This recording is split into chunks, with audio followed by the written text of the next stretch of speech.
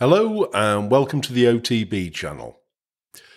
So today I'm going to repeat something that I did 12 months or more ago where I looked at how to create a multi-boot USB uh, stick in Linux. That seemed to be a very popular video, but the program I was using has had a few issues and so I stopped using it quite some time ago. But there's a new kid on the block called Ventoy, which seems to be getting a lot of love. So I thought I'd give this a go, set it up, see if it works, and also see if I could set it up in a way that I could test it in VirtualBox. Not straightforward at all, but relatively easy once it's done. So, let's see what Ventoy's all about. See you after the intro.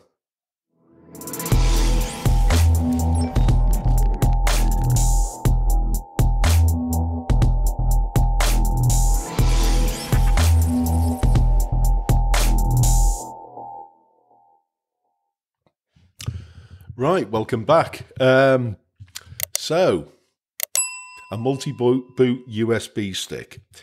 I tried this before. I'm just bringing up Firefox to look at my, my old video. And it was back in January 2020, January the 4th, 2020, so more than a year ago. And I looked at something called multi boot USB.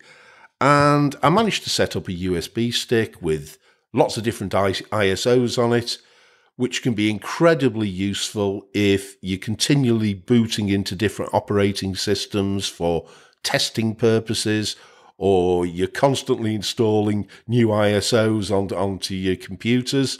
Um, for me, it was a bit of a godsend because, um, well, I've got lots of laptops and I, I'm constantly testing new new ISOs. But if you want to carry a toolkit around with you, for fixing Windows or Linux. If you want something like uh, Parted Magic on it, it can be really useful. Now, I didn't, I must admit, I, I came across a few issues with the multi boot USB program. And uh, after the first few weeks, I, I, didn't really go back to it. And I've noticed that it, it, the link to, to that program now seems to have disappeared. However, um, what has generated quite a lot of love recently is a program called Ventoy, which also allows you to create a multi boot ISO. And looking at the reviews, and I've been reading quite a few, they seem to suggest that it's pretty seamless the way that this works. And and it seems to work with Linux or Windows or whatever operating system you've you've got. Although I don't think it works in Mac. I may be wrong, but we'll have a look in a minute. Um, so so I'm going to set up everything on my Arch system here whilst I'm making the video. So I haven't haven't looked at it yet. I really haven't. So I'm going to install it as is, and, and we'll see if it does what it's meant to do. I'm then going to uh, use my little X260 as a means of testing it to see if it actually works on real hardware. But ideally, what I want to do as well is I want to find a way of testing it within VirtualBox because showing you the testing process on real hardware and having to use a capture card and, and link everything up uh, to to uh, to show you the video. It's, it's quite messy, really. So um, I've been doing some searching, and I found some ways that you can actually test a multi-boot USB stick by booting it within a VirtualBox environment. So we're going to be going through that as well. But let's go to the split screen before we start and let's look at Ventoy. Right, so uh, you should see the Ventoy website uh, up there now. Ventoy, Ventoy, Ventoy. I'm, I think I'm pronouncing it correctly. Um, and we're going to have a quick look at this. What I would say before we start, if you're going to use a USB stick and you're booting uh, an ISO from a USB stick, the type of USB stick that you buy is going to make a huge difference. And all USB sticks are not created equally. Some are much faster than others. And I bought myself um, a USB 3.1 stick. It's a, SanDisk Extreme Go USB 3.1. I don't know if that's going to, to show there. It's quite lightweight. Um, the good thing about it is it's very fast and it's not that expensive. And for something like a multi boot USB stick, you do want something that has a bit of warmth behind it. So let me just put that down there. So here's the Ventu, Ventoy uh, multi boot uh, program page. It's an open source tool uh, created to boot a whole range of image files, ISOs, of course, but WIM files, IMG files, VHD files, and EFI files. So great. And you don't need to format the disk over and over. Once you've installed it once, you just stick it into your uh, your computer. The folder for uh, the USB stick should open up and you just drop the ISO files on it. So you can update it really easily. Stick it back in the computer, drop another ISO on it, delete an ISO, etc., etc. Um, so pretty good. Um, apparently, it will work in uh, standard BIOS mode or UEFI, uh, and you don't need to worry about the format of your USB stick at the moment because it has a script that you'll run and when you run the script, it, it will reformat the stick itself, you know, completely. So no problem. So it's 100% open source, which is a real bonus because many of these sort of solutions tend to be quite proprietary. And it has a whole range of features. Wow. Okay, so impressive. What I don't think it does do though, I, if I remember from the multi boot USB program I used last time, you could actually bring it up and, and test, do a test boot uh, uh, as part of the program itself. I don't think you can do that with Ventoy. I might be wrong, but this is why I'm looking at perhaps looking at VirtualBox as well. So this, let's have a look at a screenshot and what it should look like. And you can see it looks like that. And all you have to do is drop an ISO file onto your USB stick. And when you next boot with the USB stick, it will show all the ISOs that are there. What downloads are available? Um, well, you need to go to GitLab, GitHub, according to this. Um, so there are binary files. There's a Windows zip file. There's a Linux tarball and there's a live CD ISO. Um, a live CD ISO, I suppose that's just for testing purposes. What I wanted though was the tarball. What I found really interesting was they've done a huge amount of testing here. So if you move over to the testing ISO menu there, uh, you will see in terms of Linux, wow, they've gone through a whole range of testing. And you can look at things like Debian and just click there. And there's all the different ones that have been tested, and it tells you whether it'll boot in legacy or UEFI. They've been doing the testing in uh, QEMU, which is fine. So, yeah. What I did then, I downloaded the tarball, I extracted it, and we're now going to install it. So let's see how this works. I've not tried this before, so I'm doing it as I record it. So uh, it may work, it may not work. So it'll be interesting. Uh, you can see the terminal here on my desktop.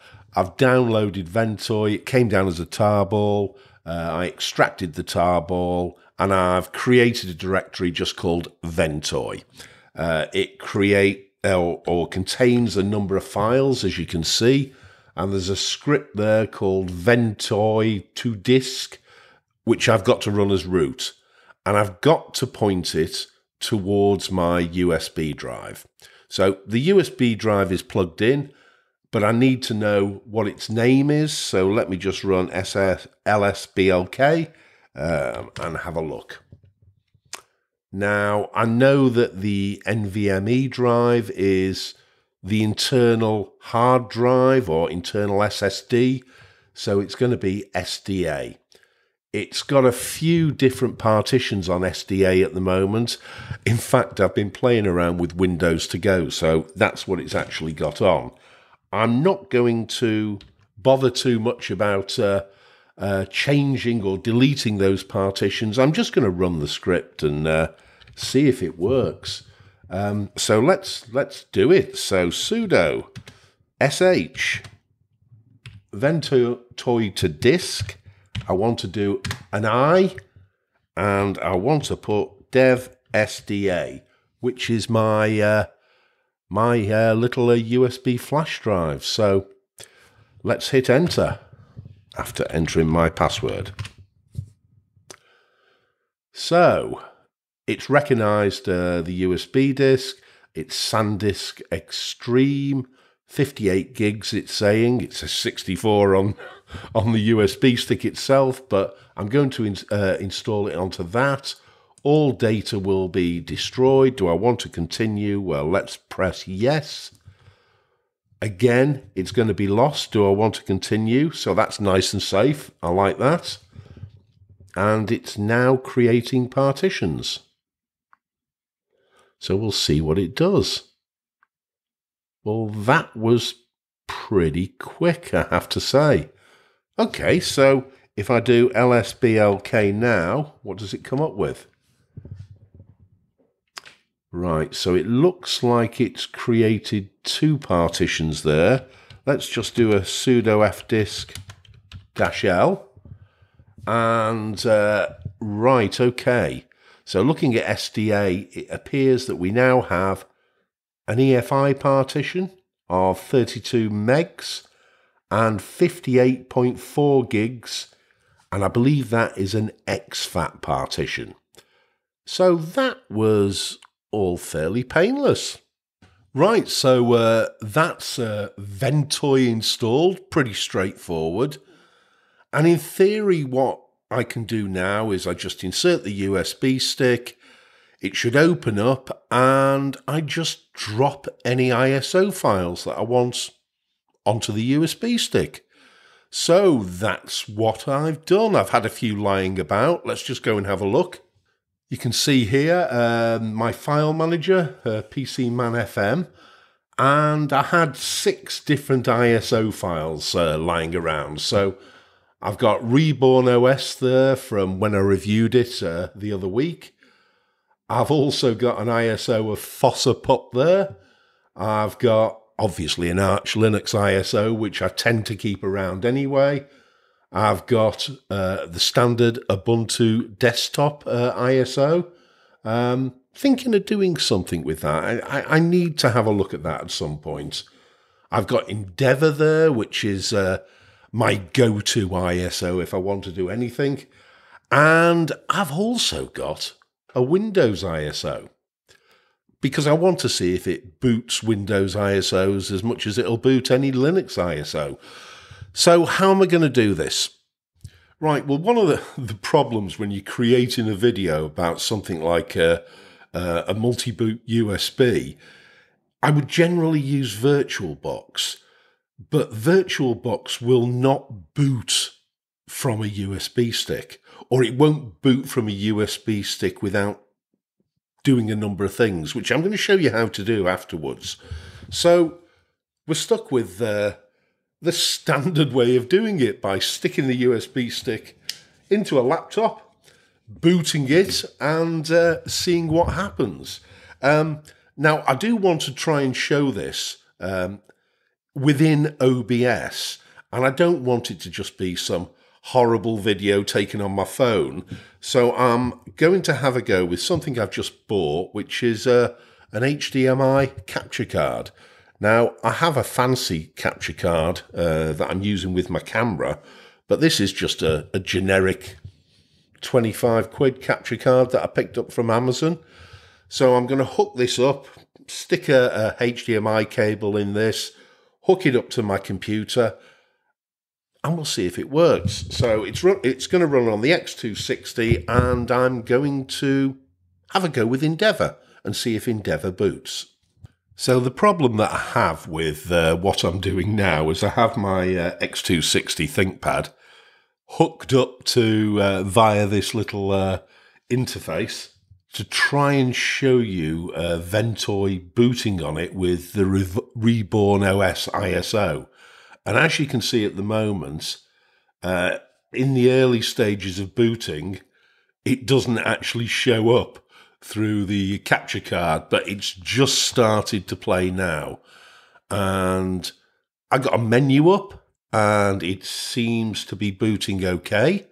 And uh, so far, so good. And let's just see what happened. Um, and here we are. Yeah, and, and there's the Reborn OS GNOME screen. And I'm interacting with this on real hardware. Strange that. Uh, I, am actually, uh, as I say, I've got it on the X260 and I'm, I've got it hooked up to a capture card and I'm trying to show you the capture card on uh, oh, through OBS, but I'm bringing up the menu now and it's just it's not showing up strangely enough. I don't quite know why that is. Oh yes, I do. Of course I know why it is. It will be because rather than mirroring the display, it will probably be uh, attempting to uh, extend the display. So let's have a look at displays and see what it's actually doing. Um, I'm looking on another screen at the moment and uh, let me just have a look. Yeah, I want to mirror the display and apply. Keep those changes. Right, okay, so now you should see it. There you go. So it worked. All good. You couldn't see the menu initially by using this capture card, but clearly it worked. But having to continually reboot a real machine to see if an ISO works is a bit of a pain. What I would really like to do is to have some way of doing it within VirtualBox where I could test it properly to see if an ISO works before I take it away, confident that it's going to actually work on a real PC. Okay, so so far so good. But when you're creating a video like this, having to use uh, real hardware and having to keep rebooting it and using a capture card is not convenient. So it would be really good if I could somehow use VirtualBox just to test to see if all the different ISOs that I'm using would actually work in Ventoy. So I know that a USB stick won't generally boot uh, in VirtualBox, but I did a little bit of a Google search and uh, I've managed to successfully get something set up. And I'm going to show you the link that I followed, but I want to perhaps say a warning to start off with. What you have to do in order to get this to work is you have to add your user to the disk group. Now, that is really dangerous, and it's not something that you would want to have there as a permanent thing. So, by all means, add your user to the disk group in order to test uh, this process and make sure that your Ventoy drive is working.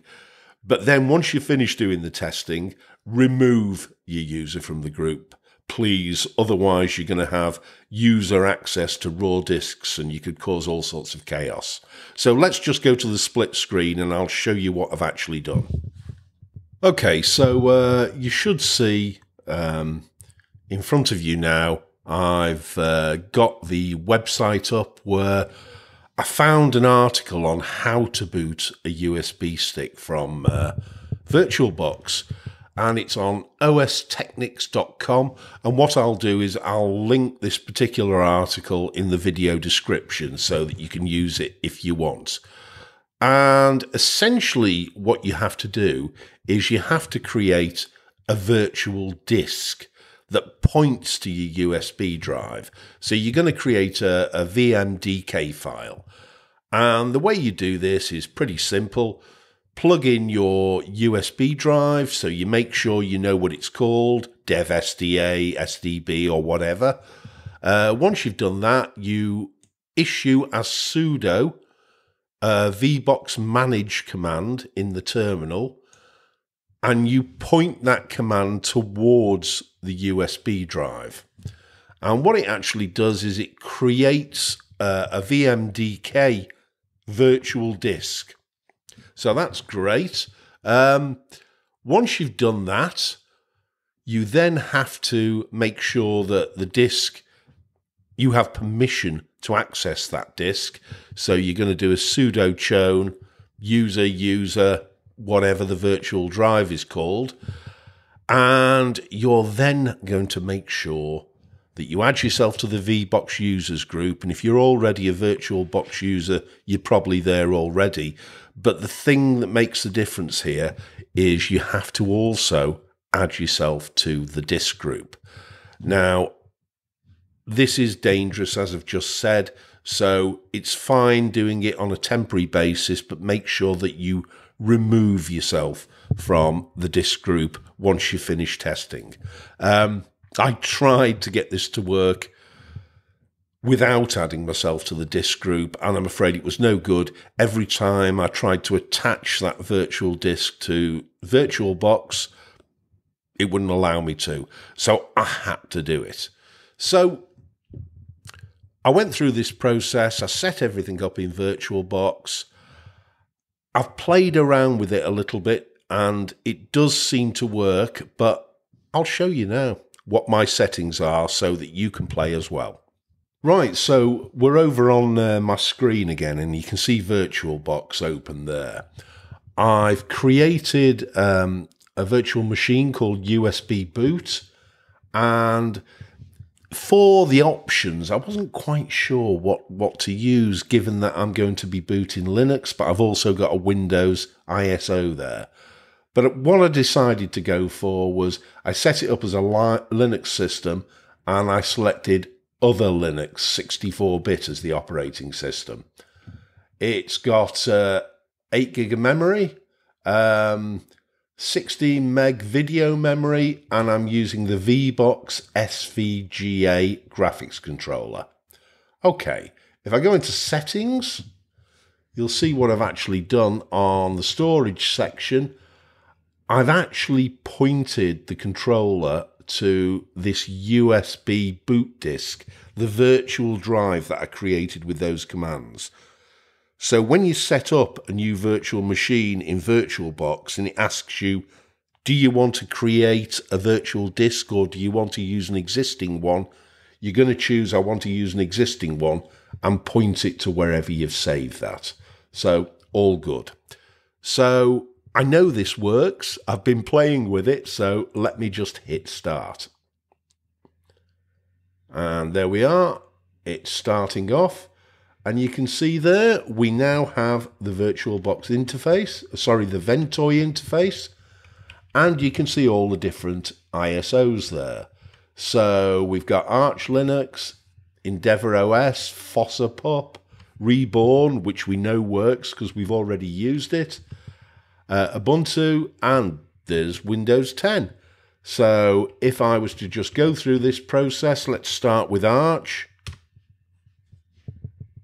it's booted straight away to the grub screen and it seems to be working. I'm not going to worry too much about getting the correct resolution on this. It's just a test to make sure that everything works. And uh, we seem to be going through the right process, and Arch seems to be booting. And so far, so good. Oh, lovely. We had a start job. That always takes time. And it should boot straight to a root prompt as normal. And indeed it has. Okay, so all good. Let's reboot this. What about Endeavour OS?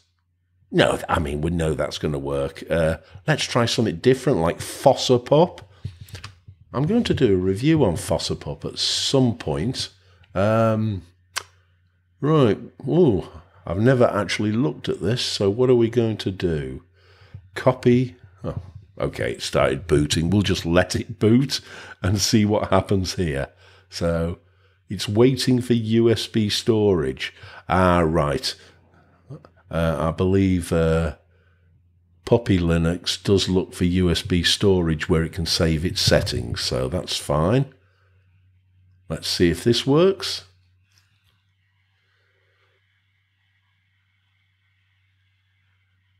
And there we have it. Okay. Current resolution 1680 by 983. That's a strange one. But, uh, okay. Fossa Pup has booted. So let's reboot. I'm just going to click OK on that. Changes applied successfully, apparently. How do we get out of this? Well, presumably we just hit exit and then let's reboot. I don't want to save the session. I'm really pleased this has worked. It's a handy way of testing something like this. So uh, we've looked at Reborn. Let's, we know it can boot uh, Arch-based systems. Let's try and see if it'll do Ubuntu. And after we've done this, I suppose the big test will be, I'll just cancel that. The big test will be to see if uh, it will actually boot Windows.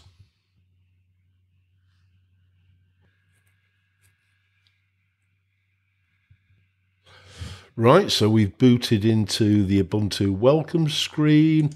Let's just hit try Ubuntu. As I say, I've got 8 gigs of RAM on this, so uh, it should be more than enough. And with a USB 3.1 drive, it should be relatively fast as well. I know that when I was playing about with the Windows to Go stuff, I needed a, a, one of the 3.1 drives to make it even usable. Okay, so Ubuntu works.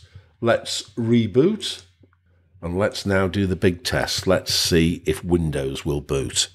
I'm not sure whether or not it will, but now we'll find out, that's for sure. So I've got this set up as other Linux. So um, I don't know what difference that's actually going to make, but let's hit enter and see. Oh, it seems to be booting the Windows 10 uh, installation ISO. Will it get to the next stage? Okay, well, the proof is in the pudding, and the pudding seems to suggest that this works without a problem. So, all good. Right, so I think we, we can definitely say that was a success. Um, I do need to say, though, after testing, don't forget that you need to re remove your user from the disk group. And if I just go back to my screen, I'll show you how you do that. You'll see uh, over here, I've got my terminal again. I've just run this actually. Uh, you can use G password. Uh, so you would just issue sudo G password minus D, followed by your username, followed by the group that you want to remove yourself from. I've just run this. It will remove you from the disk group. If you then log out and log back in, all will be back to normal. If you want to test um, your USB stick again in VirtualBox, you will need to re add yourself to that group. Right, so Ventoy, it seems to work well. Will I use it? I think I definitely will. Um, it, has been a year since I'd played with multi-boot USBs, and I'll admit that the the program I was using last time, although it seemed to work fine when I was creating the video, in practical terms, I did occasionally have a few issues getting certain ISOs to boot, and so it sort of fell by the wayside, and I stopped using it. But I've been playing around with this um, actually on my X260 to make sure that all of those different ISOs do boot. And so far, everything that I've tried has worked. Um, it's booted whether I set up my laptop to boot uh, in UEFI mode or or to boot in standard uh, DOS mode. It all seems okay. So so far so good. I've heard good things about Ventoy and and from my own tests, well, it seems to back everything up. So a great little tool to have and something for the if, if you're going to use lots of different ISOs and you've got a number of different machines, it's handy for me to have bootable ISOs just on the one stick and I don't have to keep burning them to USB all the time. I can just drop them on the drive. So, a recommendation. It seems a very good program. Right, guys, so that's it for today. Hope you enjoyed this, little bit different. Uh, don't forget to join me on Facebook. Uh, come and see me on LBRY. And just finishing off, I would, as normal, like to thank all of my Patreons. So that's Robert Boudreau, Gary Moore, Corbinian, Aristotelis, Stormpix, Stephen Cross, Mike Long, Dave Bird, Entropy UK, Richard Wade, Tiger, Philip SB, Forrest, Patrick, Glenn, and Magnus. Thank you, guys. Your help is really appreciated. So that's it for today, and I'll see you next week.